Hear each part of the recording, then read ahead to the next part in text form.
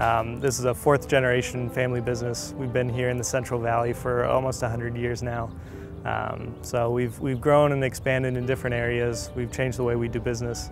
And uh, as we look to the future, the technology and the way we use that to help us do business is really essential for our survival into the next 100 years.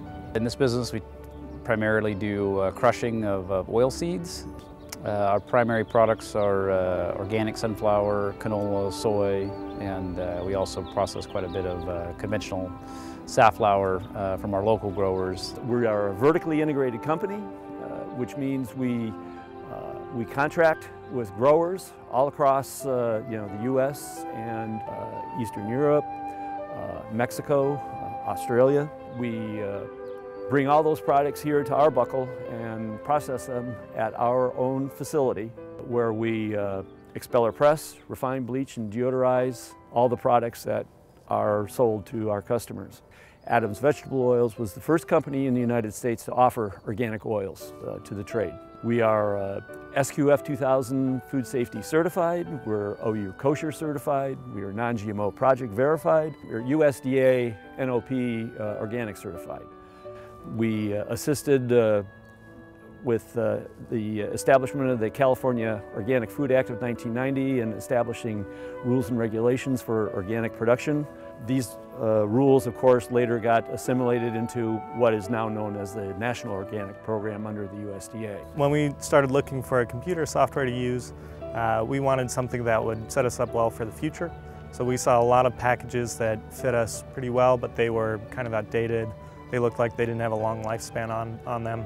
So we were really looking for something that fit all of our businesses and um, we wanted something that had strong food uh, uh, presence, something that would do good lot tracking, um, good strong manufacturing. We had, we had 20 different companies come in.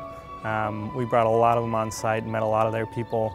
Uh, we really liked the energy of the Beck folks and they came right in. Um, talking about different food regulations that were coming up and that uh, really opened our eyes. Um, and they really knew our industry well, which made this, uh, this transition and implementation a lot easier. Uh, this, was a, this was a big upgrade for us. We really didn't have a, uh, an ERP solution prior to this. It was kind of a home-built system, so we were looking for something that uh, had a lot more capabilities in the manufacturing side. Um, we needed better detail and costing. Uh, costing was a big weak point for us. We were waiting, you know, sometimes 45 days to get financials back after a month, and this helps us. Uh, we were really interested in getting that information a lot quicker and a lot more accurately. We had a complex uh, project. We had a lot of, a lot of things to cover. Um, we had a lot of fragmented, customized systems to replace.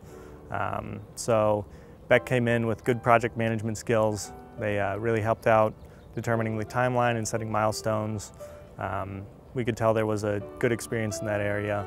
And uh, we, we had to move some deadlines, which I hear is, is typical of ERP implementations. But uh, at the end, we got there and we're satisfied with the, the result. So th this is the first integration that most of us had done. Uh, it was a huge learning curve. So far, it's a successful project. With anything, there's efficiencies that could be could be gained. We really utilize the manufacturing process, and that's something we didn't really have before, and something we're really excited about. So we have uh, just a wealth of data that we're starting to uh, pull from and report on. So we have much greater uh, insight and control over our inventory, yields, our manufacturing processes. So that's been a huge impact both at Grain and our oil company. And uh, we're getting ready for harvest, so we're cleaning some things up, but we're uh, happy with where we are. Having the data in the system real time has been just key for the field guys, for the accounting team, for customer service, for the grower accounting staff. They can see the data real time and that's been a vast difference between what they were used to previously.